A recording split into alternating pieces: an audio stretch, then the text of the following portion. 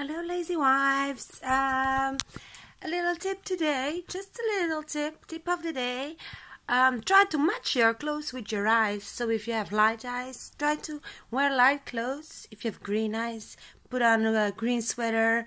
If you have gray, light gray eyes, put on a light gray, uh, gray dress on. If you have really, really dark brown eyes, keep it dark try, uh, try to wear black and stuff. Uh, so try to match your clothes with your eyes so your eyes speak out even more. So that's the tip of today. Bye bye.